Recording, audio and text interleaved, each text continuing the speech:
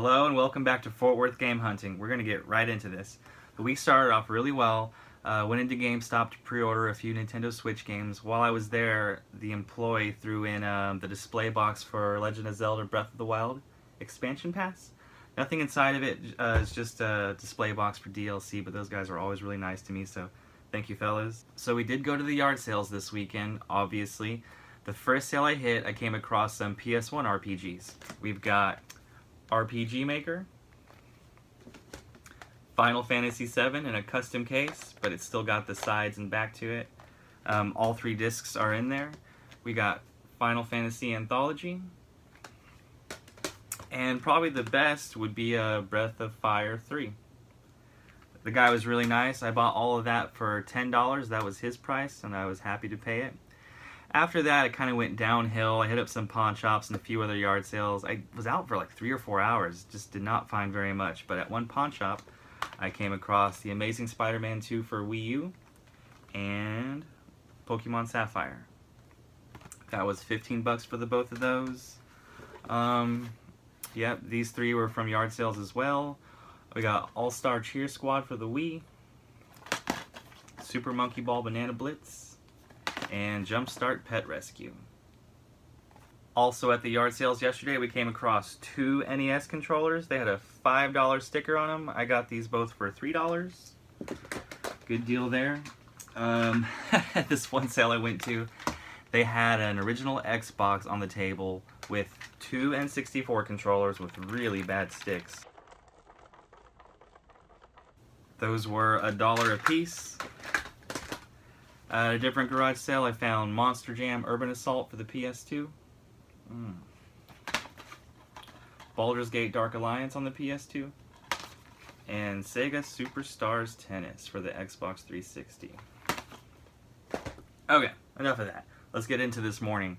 This morning, I would say that I hit probably the top 10, top 5 maybe, best scores of all time. For you. So let me try to tell this story. Oh geez. There were two community sales listed in my area. They didn't open till 8, either of them, but I went ahead and got up at 6.30 this morning, went out at 7 o'clock, um, hit up the first community sale. There was only one person there set up, so um, they didn't have any video games. So I left, uh, went and got gas and a drink, and then um, hit up a, a, different community sale that was north of the one I was just at. So anyway. Come on, man, get it together. I'm, try I'm trying, I'm trying. You're okay. Thank you. The great part about this community sale is it was a really, really small neighborhood, maybe like five blocks total. So I hit probably 15 sales in about 20 minutes. Um, the only thing that I found there at that community sale was uh, Toy Story 3 on the Wii. And this is not game related, but Fern Gully, the last rainforest. Um, I used to go to my grandmother's and watch that movie all the time. I remember the Bat Rap pretty well, if you've ever seen that movie. Robin Williams is the Bat. So I went back down to the first community sale I was at, stopped at a garage sale, was walking up the driveway while another guy was walking away with a box full of uh, Xbox 360 stuff. I was like, oh, okay, you know, Xbox 360, whatever.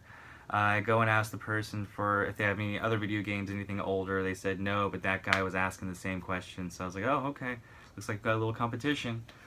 So I get in my car, um, uh, they're in front of me, and I'm like, okay, well, I'm gonna use this tactic. I'm gonna let them stop at the first garage sale they see. I'm gonna pass them up and kind of like hit it from a different angle and start coming downward as they're going upward in the community. They stop at the first garage sale. I pass them up and just choose a random garage sale. There's a ton of them going on at this point. I just choose a random one and I'm so glad I did. I walk up the driveway in the driveway, there were stacks of Xbox 360 games, and I asked for any older games. And the little kid that was there said, Oh, I have a Game Boy. So he ran inside, and I was like, Yes, this is going to be great. In the meantime, the woman says, Oh, I have a GameCube. Are you interested? I said, Yes, I am. So she walked into her garage, and there was a chest of drawers, like four fat drawers, and she opens up the top one and pulls out a black GameCube. I don't know if you can see in the lighting, but it's very dusty. It's been sitting in there a very long time. First thing I did was open it, and we've got Mario Party 7. So far so good. Came with all the cords, a silver GameCube controller, and Viewtiful Joe. she then opens up the next drawer and starts pulling out N64 games, and I'm like, oh, this is so great.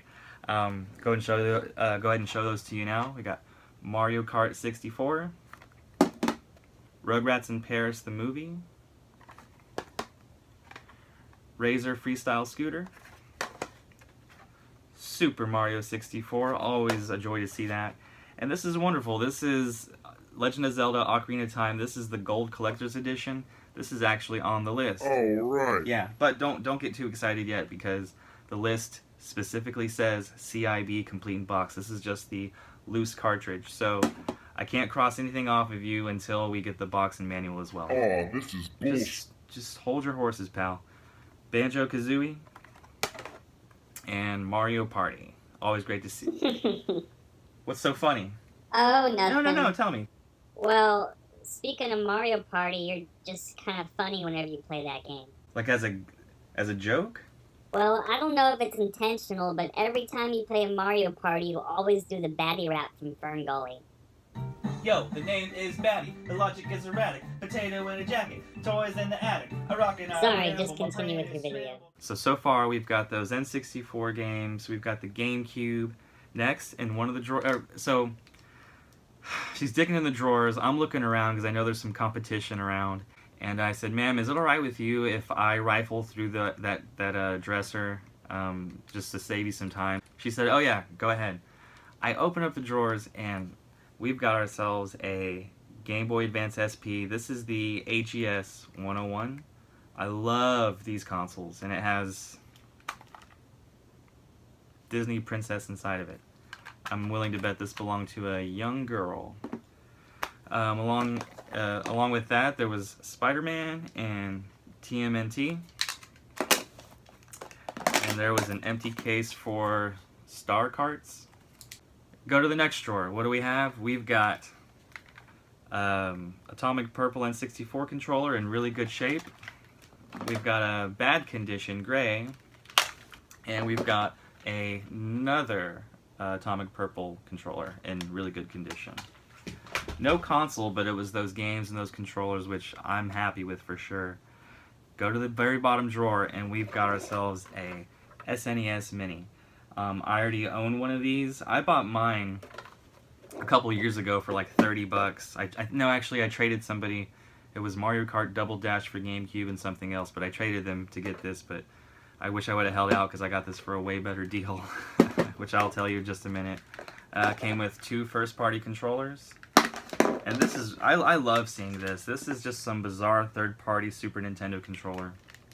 I grew up on a controller that, my, my, my personal controller that I used all the time was called like an ASCII pad. I think that's how you pronounce it, ASCII pad. But that was my jam. I used it all the time. So I love seeing stuff like this. In that drawer as well, we've got a bunch of PS1. I'll start with the loose discs first. We've got Time Crisis, Pac-Man World, Metal Gear Demo Disc, Resident Evil 2 Demo, Dino Crisis Demo Disc, lots of demo discs in here, Game Shark, Legacy of Kain Soul Reaver, Rainbow Six Rogue Spear, Command and Conquer, Demo Disc, and Tekken 2. Now we'll get into the case games. We've got Legend of Legaia, Legia. Uh, Game Shark Shark Link, Metal Gear Solid, Evil Dead Hail to the King. I think I have like Fistful of Boomstick, or I think there was another one for the PlayStation 2 that I have. We got Tenchu Stealth Assassins, Silent Hill, Bushido Blade, Parasite Eve 1, and Parasite Eve 2. And the best for last, we've got Castlevania Symphony of the Night. And when I opened it, it's it's in this kind of one of those like two disc cases. So we've got our Symphony of the Night, which is also a list game. Finally. But again, hold on. Yeah, but Hold on, hold on, hold on. Why are you doing this to me, man? It's got to be complete. It doesn't really have to be black label. It can be greatest hits, but I need the case and everything too before I cross it off. Oh, this is bullshit. I know it's just not your day, and I'm sorry. Uh, also, so in that case, on the, on the on the front side was Symphony of the Night, and then on the back was Legend of Mana. Really cool to see that one. So this is all going on. My heart's pumping. It's just like a treasure trove. This whole dresser is just full of old games.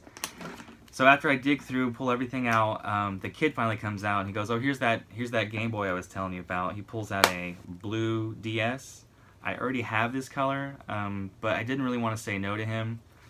I asked the woman how much for all of this, and she said fifty dollars. Fifty dollars. That is a tremendous deal. Definitely, definitely, I would have paid way more. Uh, but that was her price. I didn't argue with it. I gave her fifty bucks, and so I asked the kid, "Well, how much for your DS then?" He said twenty-five dollars, and I was like, "Oh." I, I didn't want to be a punk, so I gave the kid twenty-five dollars for this. Um, I actually already have one. See, there's mine. This one's in a little bit more rough condition. Uh, mine's a little nicer, so this will be going elsewhere. And I believe that's it. Thank you for watching, and we'll see you next time.